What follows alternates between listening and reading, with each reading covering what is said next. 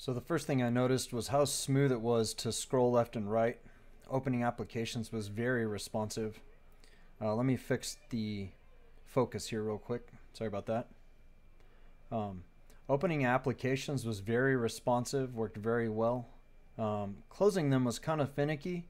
Um, sometimes it would work, sometimes it wouldn't. Like right here, you can see I struggled with it um, using both hands. Applications open fine and they are smooth to scroll, uh, but closing them is awkward.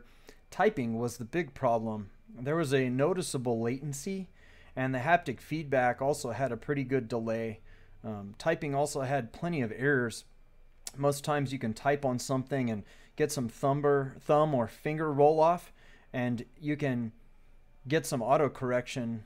It was absolutely terrible. It felt very slow very unresponsive. Scrolling was okay. I think that that's because the the low hertz on the display, but uh, moving back and forth through things again, really smooth as far as navigating the operating system within the applications. Pretty laggy.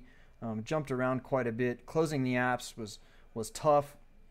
Um, I, I really just wanted to cycle through and try some different applications and see how it launched. This unit I don't believe was active, so it couldn't connect to anything. The data wasn't working, but um, moving it to its side, very responsive and fast. But again, typing was very painful. Um, there was a noticeable latency when I punched in keys. Spelling wouldn't correct like most Android phones will.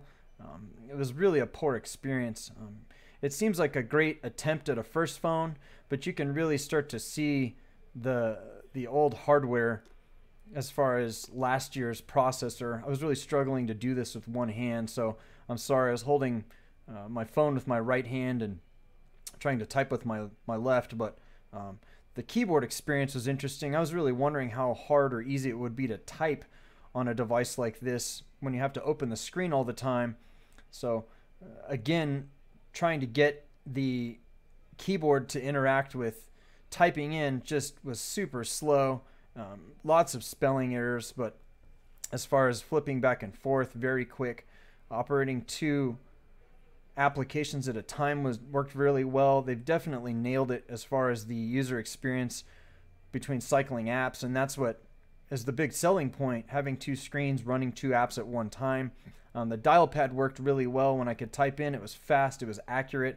I didn't have any issues calling or or typing anything in when I wanted to make a phone call. It was just texting, and unfortunately, that's what most people are going to do on their phone. They're going to send text message, they're going to send uh, information, they're going to type emails, they're going to be typing words in. They're not necessarily going to be calling as much um, as times have changed. We're we're texting more, we're emailing, we're inputting data into web browsers.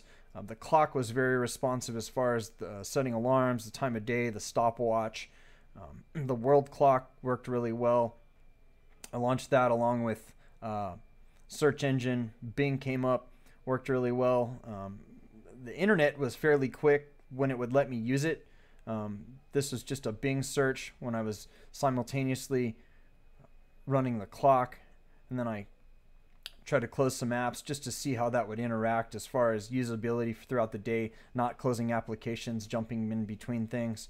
Um, the slide to type worked well again, but jumping back into the typing, very disappointing, poor performance. Um, the haptic feedback had a delay, the typing had a delay, um, the predictive text did not work correctly at all. Just about any time I typed stuff in, I felt like it was going to get it wrong, even when I was very specific and deliberate when I wanted to type right in the center of the key. Very disappointing as far as how that was going. Now, sometimes the that experience is different when you're typing in a person's name on who that's going to go to when you're going to send a text message versus what the actual message is. But there really shouldn't be any difference when you're going to type in input. Um, I was just typing in the same phrase over and over and then deleting it, moving it back and forth. I really wanted to put it through its paces as far as opening it, closing it, moving it around. Um, feeling it in one hand, it, it is incredibly light. It's incredibly thin. Um, they must have packed a really tight battery into this thing. Um, opening and closing it with one hand, I was actually doing that intentionally to see what it would be like for a user to come in and take it out of their pocket, open it up with one hand, see how they could use it with one hand and operate it. Because I text with one hand all the time, just try to do things with using your other hand to do anything in the world, from opening a door or going somewhere, operating a computer. Dialing was super smooth, very fluid, very responsive. I was very pleased with the dialer. There's a lot of background noise in Best Buy, so apologize for that. I was also worried about what the experience was going to be like by accidental touches on the back of the screen because it is a dual screen phone, but when you have it open like that, um, it does deactivate the back screen and there is an input method so you can double click it and turn it on. So you don't have to worry about accidentally opening an app or doing anything weird on the back screen. Now, I don't know how far you have to have it open before it will deactivate that other screen. It seemed like anywhere past a kind of a three quarters of the way touch. Now it makes sense that when it's closed all the way and it's facing you only to use that screen, it seemed to automatically know which screen was facing me. So the, the gyro in there is definitely telling its face up. Again, just typing some things in. Um, and I kept going back to the same thing on this because it was such a disappointing experience. Uh, typing anything in was was slow, it was laggy, it was cumbersome, and it was incorrect over and over and over. So opening up YouTube worked really well, very smooth. Pulling down the notification bar, um, not a lot of options like you see on a lot of the other phones. Typically, you can slide left and right and see a lot of that stuff. Um, very very minimal with this. So this is very indicative of a uh, a launch device with having a first generation tech of this type. So great new technology, phenomenal design, and A plus on their ergonomics of how they built the phone. Um, but but having the older Snapdragon processor in there um, and having those thin batteries, I definitely see this having an issue as far as latency and and lag and slowing down over time. And if it's this bad from a demo unit right out of the box. I can't imagine filling this thing up with applications, having played games or running it throughout the day, both when you're running your email. Um, this is targeted towards a business user or multimedia user, somebody who's going to be doing a lot of work on Outlook, watching YouTube, things like that. Um, it, it it's kind of finicky too. Launching YouTube, it just jumps around.